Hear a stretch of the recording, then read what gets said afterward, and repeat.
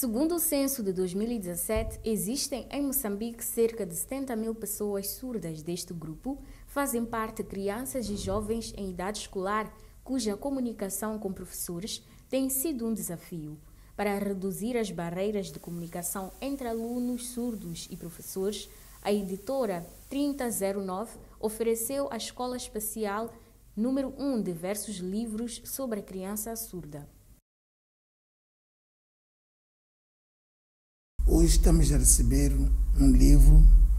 Este livro aqui vai ser muito importante para nós, que o nosso docente da escola e vai poder ganhar ao ler e perceber e entender o que, é que está no livro, então vai ganhar mais consciência para uma nova dinâmica de serviço.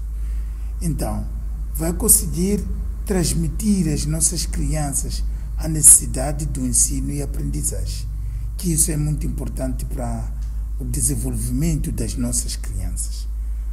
Este livro que estamos a receber hoje é um livro que também vai nos fazer a gente compreender a necessidade da língua de sinais, a necessidade de uma aprendizagem em língua de sinais.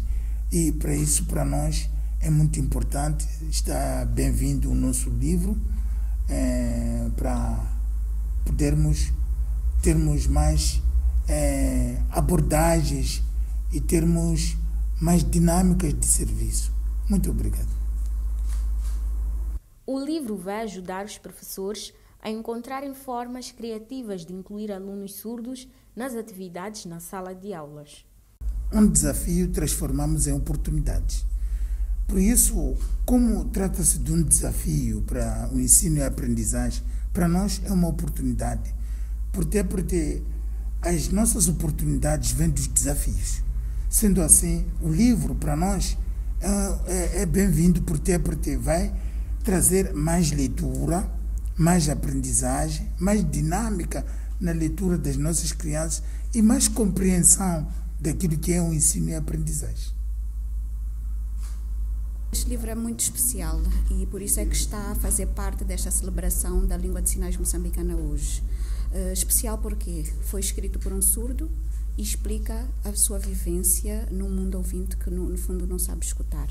E então este livro uh, é válido para ser doado nesta, nesta data, em parceria com a Digit, uh, porque ele apresenta exatamente isto. É uma mistura de língua de, de sinais e língua falada, uh, mistura língua de sinais uh, americana, língua de sinais uh, britânica, e isto serve para consciencializar ao mundo ouvinte que não existe só uma língua de sinais, porque as pessoas dizem, ah, mas por que os surdos não falam todos uma língua? Da mesma forma que existem 6 mil línguas faladas, existem mais de 200 línguas de sinais, e é por isso que nós estamos aqui hoje para ver esta consciencialização e mostrar à comunidade ouvinte, a comunidade surda, que é possível. Este moço é surdo desde os dois anos e está aqui. Foi o maior poeta do ano uh, na Inglaterra no ano passado. E então uh, não existe nada que seja impossível para uma pessoa só porque é surda.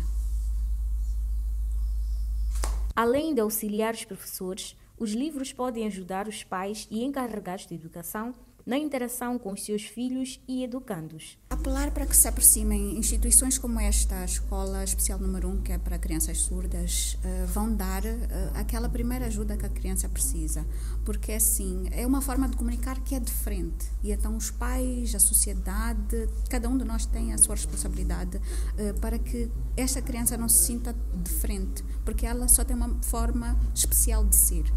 E então é isso que os pais têm de fazer. Uh, leiam, uh, apercebam-se, familiarizem-se mais, porque existem, uh, cada vez mais lá fora estamos a assistir a um movimento em que existe cinema em que o ator principal é surdo, existem séries de televisivas em que os atores são surdos. E então é mostrar que é uma pessoa especial que está ao lado de nós e que pode fazer tudo ou mais do que uma pessoa ouvinte. E então todos nós temos o nosso papel desde temos de fazer alguma coisa para para que essa criança consiga atingir o seu potencial. Estudam na Escola Especial número 1 cerca de 90 crianças surdas.